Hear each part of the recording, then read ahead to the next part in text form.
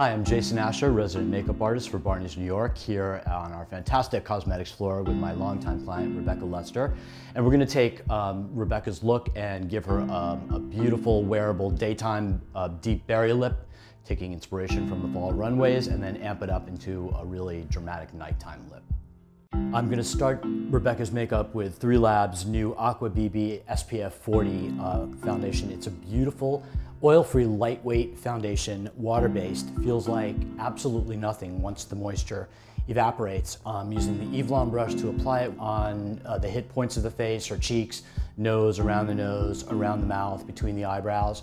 The color blends so well, I don't have to do a full face of this product to get it to disappear beautifully. I'm using Eve Lom's new Light Illusion Concealer. It's like eye serum with color. I'm applying this product um, directly from the brush onto Rebecca's under eye, um, a few small dots, and then very subtly carrying it across up to the lash line.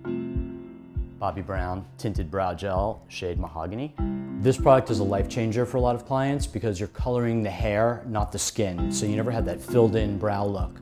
I can create um, just more definition, more continuity, a more contiguous uh, brow, refine the shape and keep the hairs in place, all in this one product. To prep Rebecca's lids for eyeshadow, I'm using By Terry's Hyaluronic Eye Primer in shade number two. It's a really beautiful oil-free, water-based primer that actually firms the skin, cancels out any red or discoloration, and looks nice by itself or really adheres to other eyeshadow to keep it in place all day. Because we're doing a very strong lip on Rebecca, I want to keep her eyes very soft and natural. So I'm using Chantecaille's uh, new Trio palette, their 15th anniversary eye shade palette, which is just absolutely beautiful. I'm using NARS's new brush 43 to blend the two lighter shades in this palette together just to create a really beautiful luminous skin tone color on Rebecca's lids. I'm using Bobbi Brown's perfectly defined gel eyeliner. I'm applying this to Rebecca's lash line using very short strokes because I really want a very thin, tight line that defines her lash line but really disappears into her eyelashes once we've added mascara.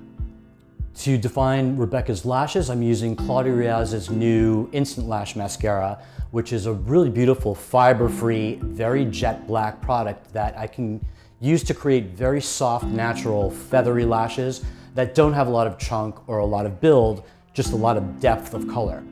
You'll notice as I'm applying Rebecca's mascara, I'm really getting to the base of her eyelashes and moving my hand back and forth in order to really create a very strong base of mascara I just want a very natural creamy cheek on Rebecca, so I'm using um, NARS Multiple Stick in Nepali Coast. It's a really beautiful sort of coppered rose. And I'm just using my fingers to gently blend the color away into the apple and up the cheekbone.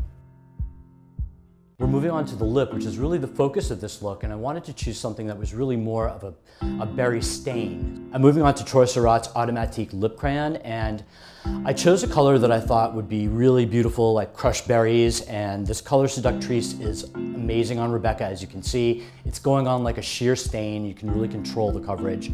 I'm filling in the lip and using my brush just to smooth the color along and just give it like a nice, you know, bitten lip effect. So now we have Rebecca in a beautiful, clean daytime look with a soft defined eye and a beautiful, soft stained berry lip. Now we're gonna take the same runway inspiration and transition into a beautiful amped up evening look. The first step in transitioning this look from day into night is to bump the cheek up a little bit. I'm using Plum Attraction on Rebecca's cheek to really cut under the cheekbone a little rather than highlighting the apple, just to create a, a little more of a, a dramatic effect with the blush. Generally speaking, when I finish doing blush, I'll take whatever's left on the brush and use the residue just to pop the nose, the chin, the forehead, the temples, just to throw a little extra color into the face. Again, the most important part of this look is really focusing on the deep berry lip, the inspiration, the runway inspiration that we're, you know, we've taken for the fall season. And NARS brought out this beautiful collection of uh, lip colors in a very matte finish called Audacious Lip Color. And I'm choosing a color called Bette, which is a really beautiful oxblood berry that I think will really jump Rebecca's lips up to a real, really beautiful nighttime version of the soft berry that we did for daytime. I chose NARS uh, Coordinating Lip Liner in Salsa. It's also a beautiful brown-based berry that disappears beautifully into this Bette lip color.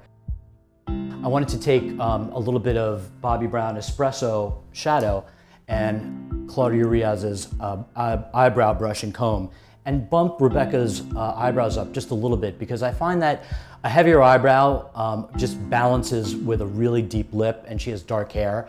And I personally love a strong dark eyebrow. So I'm starting at the, the base of the front of the brow and going straight upward in very short strokes. I'm using the other side of this brush, the brow comb, to remove some of the excess product and to just groom the brows into the shape that I want to dictate.